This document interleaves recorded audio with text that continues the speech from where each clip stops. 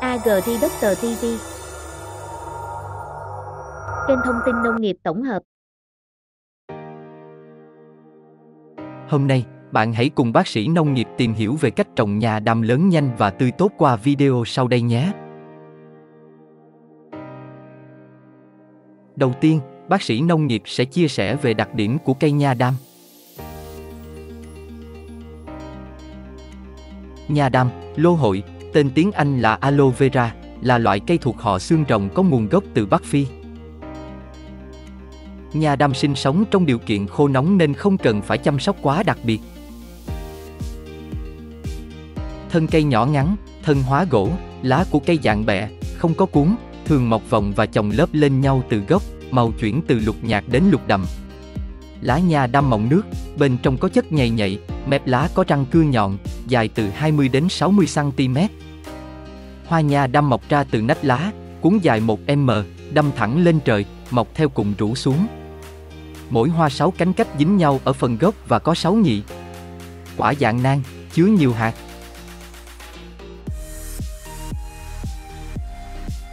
Tiếp theo, ta cùng tìm hiểu về tác dụng của cây nha đâm nhé. Tăng cường hệ miễn dịch, giải độc tự nhiên, làm sạch hệ tiêu hóa, tuần hoàn. Tiêu diệt vi khuẩn có hại. Làm dịu vết thương với trường hợp bỏng, côn trùng châm chích hoặc trám nắng.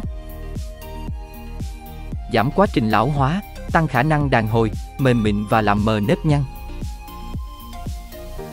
hỗ trợ máu cung cấp oxy đến các cơ quan trong cơ thể. Tăng đề kháng, giảm sưng viêm, giảm đau và chữa các bệnh về nướu với các thành phần trong cây như polysaca, axit, saponin.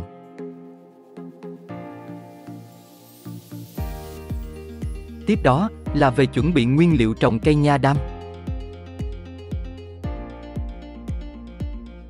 Về đất trồng, Nha đam là cây chịu được khô hạn, nhưng không chịu được ngập úng, do đó phải chọn vùng đất cao ráo, thoáng xốp, tốt nhất là đất pha cát dễ thoát nước. Bạn có thể mua sẵn hoặc trộn đất với vỏ trấu, sơ dừa, phân bò, phân gà, phân chim, việt ngang ngỗng, phân cá. Về giống nha đam, có hai loại chính là nha đam Mỹ và nha đam Việt Nam. Nha đam Mỹ có lá dài, nhiều gai, bẹ to nặng, dày mình, có phấn trắng ở phía sau thường được trồng số lượng lớn với mục đích thương mại. Nha đam Việt Nam có lá nhỏ hơn, ít gai hơn, bẹ mỏng hơn, không có phấn trắng ở phía sau. Nhỏ gọn, dễ trồng, thường dùng để trang trí.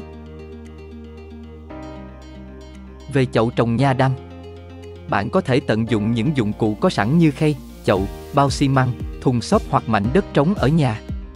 Lưu ý những chậu trồng phải đục lỗ dưới đáy để cây không bị úng nước và có đường kính miệng khoảng 35 đến 40 cm, cao 40 đến 45 cm. Kế tiếp, ta cùng tìm hiểu về cách trồng cây nha đam nhé. Đặt ngang lá nha đam trên nền đất, dùng tay vung một chút đất để che khoảng một nửa lá. Tiếp đó đặt chậu cây ở nơi có nhiều nắng, tránh bị mưa hắt quá nhiều. Sau đó tưới nước cho ẩm hết đất xung quanh lô hội. Hàng ngày, theo dõi nếu đất quá khô thì tưới thêm chút nước cho cây. Lưu ý, cây nha đam giống sau khi lấy ra khỏi vườn ươm nên để trong mát khoảng 2 đến 3 ngày, sau đó mới đem ra trồng thì cây con sẽ nhanh mọc mầm và tỷ lệ sống cao hơn. Cuối cùng, bác sĩ nông nghiệp sẽ chia sẻ về cách chăm sóc cây nha đam. Sau khi trồng thì đặt cây trong mát tầm 3 ngày để cây hồi sức rồi mang ra nơi có ánh nắng. Cường độ ánh sáng mặt trời cần thiết cho cây là từ 8 đến 10 giờ mỗi ngày. Nhà đam vốn là cây ưa nước nhưng lại chịu được khô hạn, nhiệt cao và dễ chết nếu bị úng rễ. Bởi vậy ngoài việc xử lý đất thoát nước tốt thì cần lưu ý không tưới cây quá nhiều.